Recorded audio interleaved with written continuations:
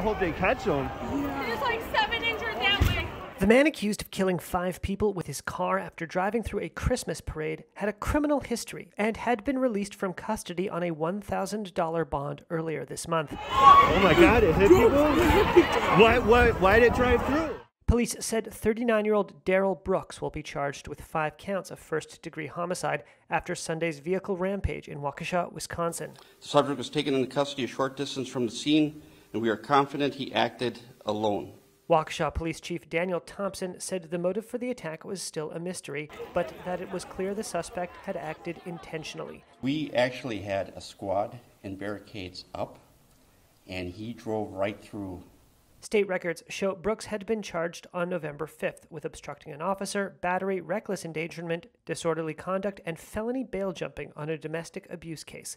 He was released on a $1,000 cash bond, an amount the Milwaukee County District Attorney's Office said was, quote, inappropriately low in light of the nature of the recent charges.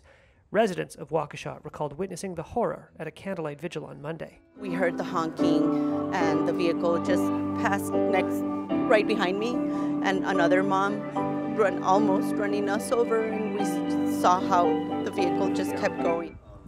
Several vigils and prayer services were held for the victims, including a memorial service attended by hundreds in a park near the scene.